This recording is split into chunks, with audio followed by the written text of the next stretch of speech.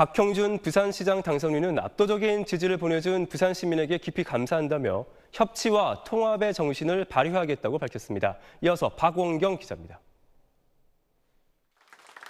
방송사가 당선 유력이라고 발표한 이후인 어젯밤 11시쯤 부산 선거 사무실을 찾은 박형준 당선인. 압도적 지지를 보내준 부산 시민께 감사하다며 먼저 오고던 전 부산시장 사건의 피해 여성에게 위로의 말을 건넸습니다.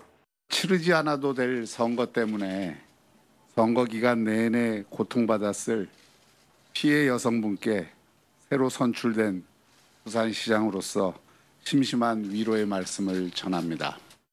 박 당선인은 오만과 독선에 빠지면 무서운 민심의 심판이 자신에게 향할 수 있다는 걸 명심하겠다고 밝혔습니다. 더 겸손한 자세로 시정에 임해 시민들을 실망시키는 일이 없도록 하겠습니다. 어려운 여건이지만 협치와 통합의 정신이 발휘될 수 있도록 하겠습니다.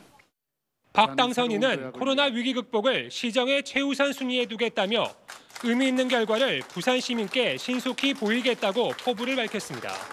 지난 2004년 17대 총선에서 한나라당 소속으로 국회에 입성했던 박 당선인은 중도 보수 성향의 전략가로 꼽혔습니다. 이후 청와대 정무수석과 홍보기획관 등을 거치며 MB맨으로 불리기도 했습니다. 이후 총선에선 연거푸 재선에 실패했지만 지난해 총선을 앞두고 미래통합당 공동선거대책위원장을 맡아 총선을 지휘하기도 했습니다. 박 당선인은 잠시 후 부산 충렬사 참배로 시장 당선 첫 일정을 시작합니다. SBS 박원경입니다.